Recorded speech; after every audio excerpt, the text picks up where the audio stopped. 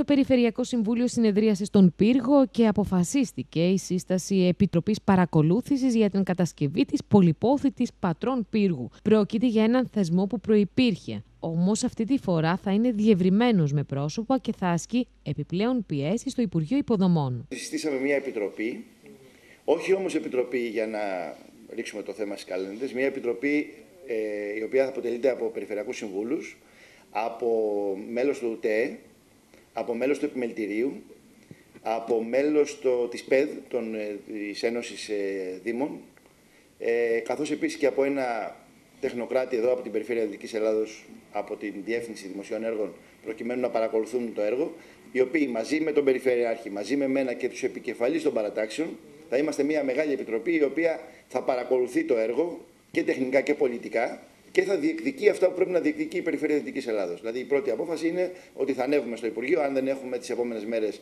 κάποια καινούργια ενημέρωση από εκεί, θα ανέβουμε εμείς, θα ενημερωθούμε από πρώτο χέρι και από εκεί και πέρα να θέσουμε και τα θέματα της περιοχής. Ε, Κοιτάξτε, υπήρχε επιτροπή η οποία είχε συσταθεί στο τέλος της θητείας της προηγούμενης Περιφερειακής Αρχής, τους τελευταίους μήνες. Συνεδρίασε δύο φορές χωρίς κάποια αποτελέσματα. Εμείς σκεφτόμαστε, γι' αυτό το λόγο την κάναμε με περισσότερους περιφερειακούς, θα είναι πιο ενεργοί. Θα είναι πιο ενεργή και πιο διεκδικητική, πιστεύω. Εδώ είμαστε να τα δούμε. Αλλά αυτός είναι ο σκοπός. Αυτός είναι, αυτός είναι η στόχευση. Η πατρόν πύργου έχει καθυστερήσει χαρακτηριστικά. Έγιναν λάθη σαφώς και υπάρχει κίνδυνος για το έργο αν δεν έχει ξεκινήσει μέχρι το 2023. Το σίγουρο είναι ότι για αυτό το θέμα συμφωνούν όλοι οι άνθρωποι που ζουν στην περιφέρεια Δυτικής Ελλάδος, από την Εντολοκαρνανία μέχρι το τελευταίο χωριό της Ηλίας. Είναι ένα θέμα πάρα, πάρα πολύ σοβαρό και ένα θέμα που πρέπει να λυθεί.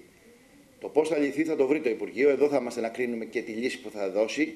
Αλλά εμάς μας ενδιαφέρει περισσότερο να τελειώσει αυτή η κατάσταση και επιτέλους να φτιαχτεί αυτός ο δρόμος, ο οποίος πέρα από τα ατυχήματα, πέρα από το, από το αίμα και από, τους, από τις ζωές που θρυνούμε κάθε φορά, ή θα είναι και ένας μοχλός ανάπτυξης για την περιοχή. Γιατί θα διευκολύνει τις μεταφορές, θα διευκολύνει τον τουρισμό, είναι και άλλα πράγματα. Έτσι, δηλαδή να μην μένουμε μόνο σε αυτά τα οποία βλέπουμε καθημερινά και συγκινούν. Είναι ένας ένας δρόμος αναπτυξιακός που θα φέρει ανάπτυξη και δουλειές στην περιοχή και πρέπει να γίνει και για αυτό το λόγο. Και έχει καθυστερήσει πάρα πολύ. Ο χρόνος πιέζει ασφικτικά. Γι' αυτό και η Επιτροπή θα πρέπει να δράσει άμεσα. Επειδή είναι και με κοινοτικά χρήματα, με κοινοτικούς πόρους, υπάρχουν χρονοδιαγράμματα σφιχτά. Να σας πω κάτι. Το έργο είχε δύο μεγάλα λάθη σε αυτό το έργο. Έχουν γίνει δύο μεγάλα λάθη.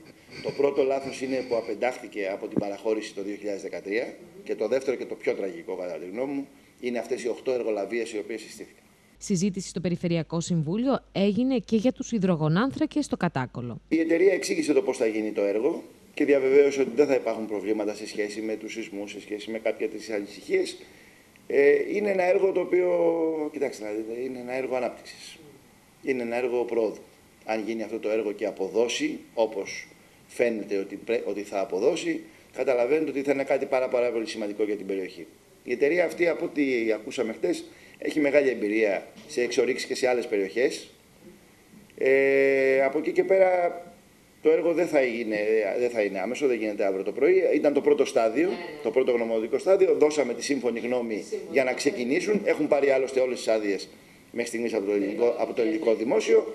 Έτσι, εμείς μια σύμφωνη γνώμη δώσαμε χτες για να προχωρήσει αυτή η διαδικασία.